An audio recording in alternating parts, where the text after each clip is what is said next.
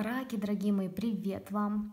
Пролетела неделя вообще очень быстро. Давайте с вами сделаем новый прогноз на грядущую неделю. Итак, прогноз для знака зодиака Рак с 16 по 22 ноября. Делаем наш классический расклад из трех карт. У всех какие-то такие интересные прогнозы были вот до вас.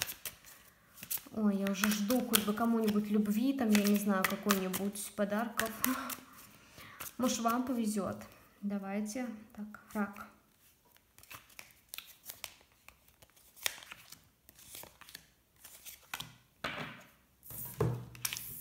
Угу.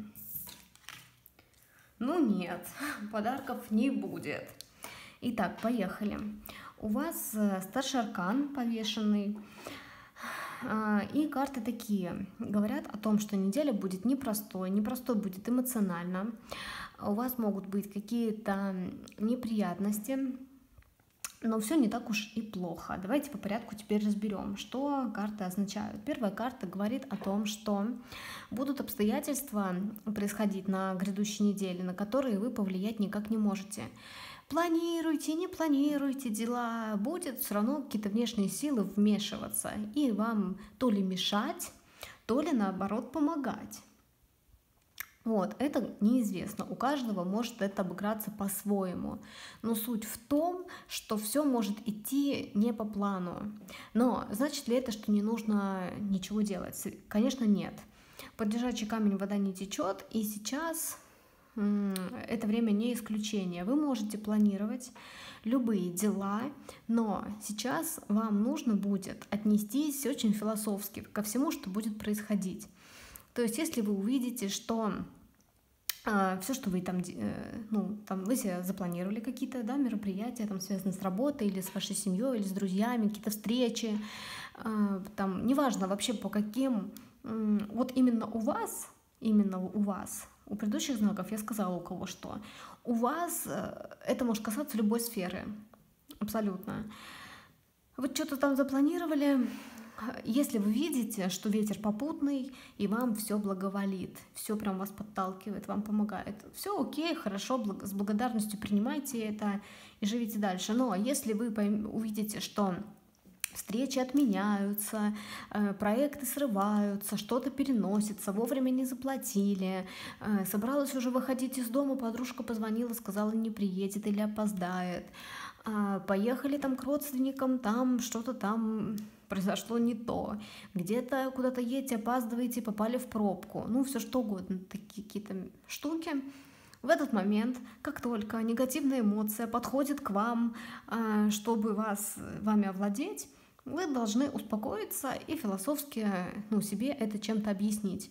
Например, если вы куда-то едете, но, но стоите в пробке, задерживаетесь, Вспоминайте те самые истории, когда люди, например, там э, где-то опаздывали на самолет, и самолет разбивался, да, или там попадали в пробку и не попадали в аварию.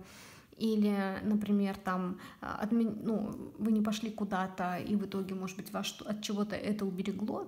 Не нужно, конечно, каждой там мимолетной ситуации придумывать какие-то там страшилки катастрофические, нет.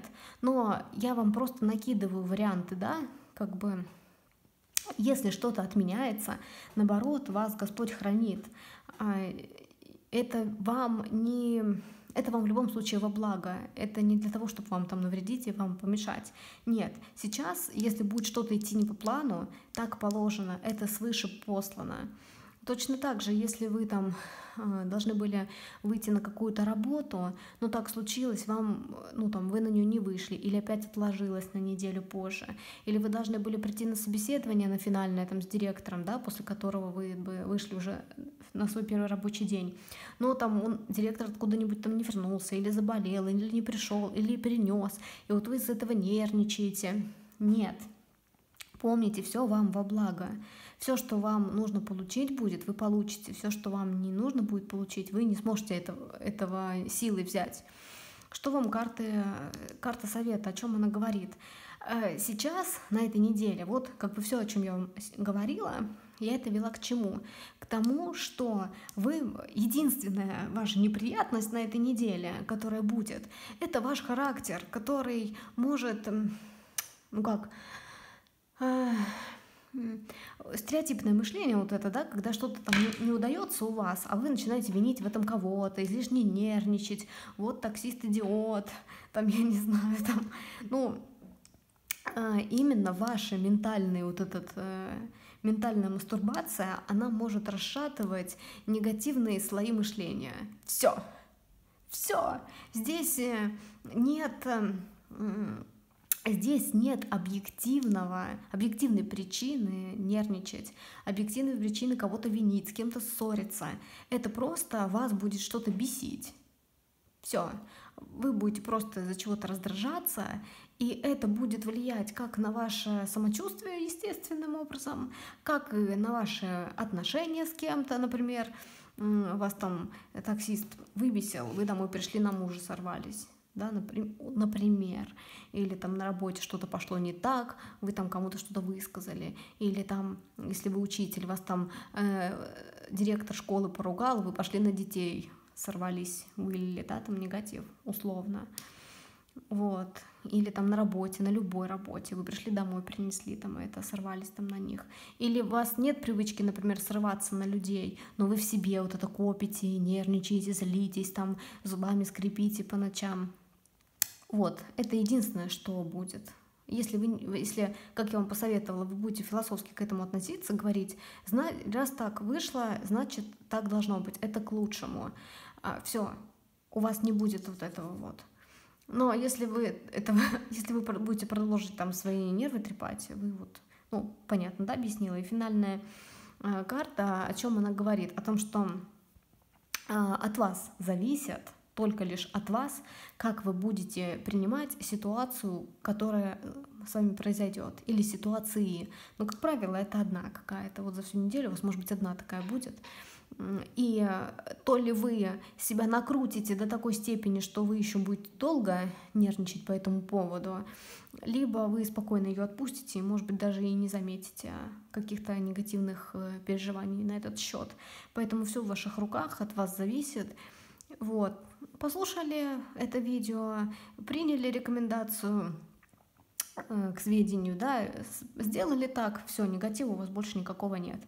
Пройдет время, и ситуация разрешится сама собой. То, что должно быть, оно произойдет, но чуть позже.